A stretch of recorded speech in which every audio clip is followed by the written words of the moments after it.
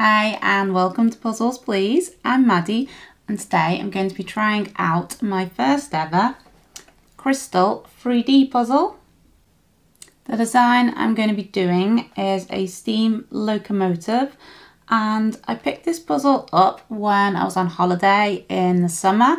We visited a little steam railway called Bala Lake, very picturesque, very nice and in the gift shop I came across this little puzzle I've not done a crystal puzzle, so I thought, why not? It looks a bit of fun. I've not watched any videos on crystal puzzles, so this is going to be a completely new experience for me. This puzzle is 38 pieces, but looking online, they can go up to over 100 pieces and more, so there's a big range in difficulty and like a huge choice in different designs that are available. The box itself is quite dinky and small.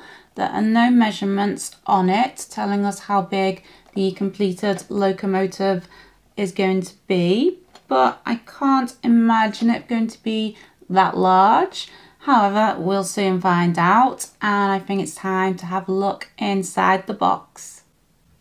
This particular puzzle is made by Funtime Gifts Limited, but there are other companies that make crystal puzzles.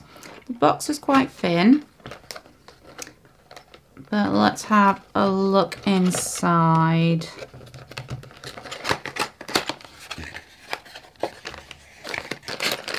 We've got just one bag of pieces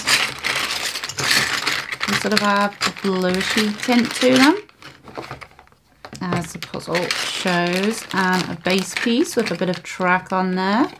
Anything else? Okay. Oh. Steam locomotive instructions. Okay.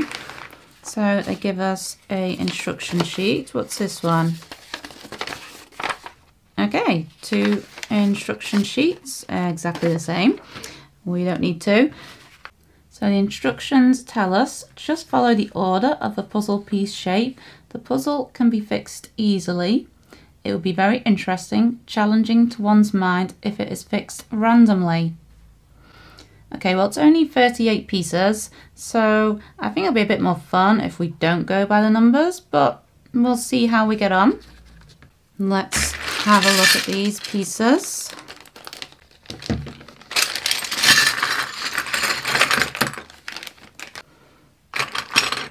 Ooh, some little ones in there. Hmm. They certainly have a bit of shimmer to them. However, they are obviously plastic. I think this puzzle would be very expensive if they were really crystal pieces do feel nice and strong and sturdy. Certainly good thing. We don't want the plastic splitting or breaking as we try and fit them together.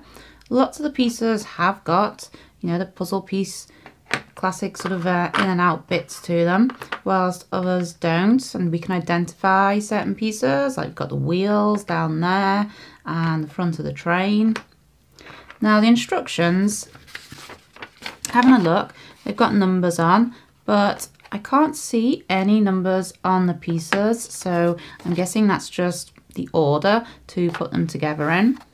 So I'm really torn whether to follow the instructions or try to just piece it together.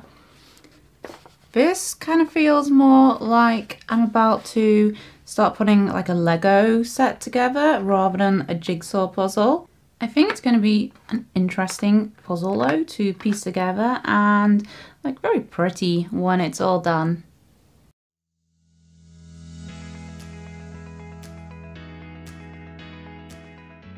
So this is where I'm up to. I've managed to sort of piece quite a few of the bits together. It's quite hard to see with it being sort of crystal, the ins and outs on the pieces at times and I've got to admit I have every so often had a quick peek at the instruction manual. Not that I'm sure it's really that helpful, or not to me anyway. Um, I don't know if I'm doing it right or not, but hopefully. One thing I have noticed, and uh, let me grab a piece to show you. is they so easily come apart when you get them together. They don't stick together.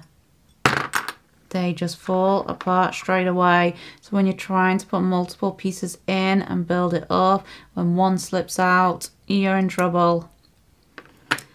I really thought this puzzle was going to be super easy and it'd be a kind of a 15 minute job. Uh, it's only 38 pieces, but it's definitely proving to be a little more challenging than I initially expected.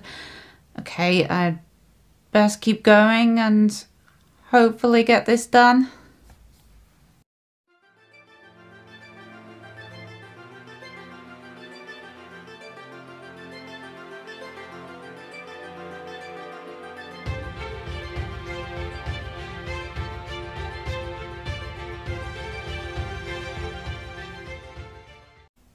Here is our completed steam locomotive and I just love how it glistens and shimmers when it catches the light.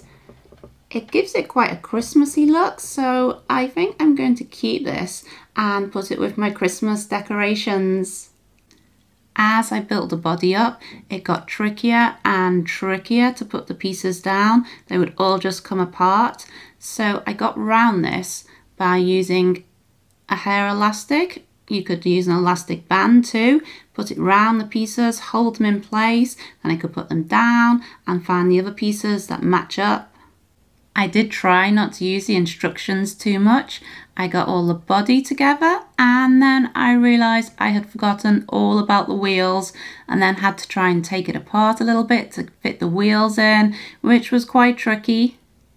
Once all the main body pieces were together, you kind of insert a pole right down the center of them all and then there's a little key that kind of twists it and by magic it's finally sturdy and stays together.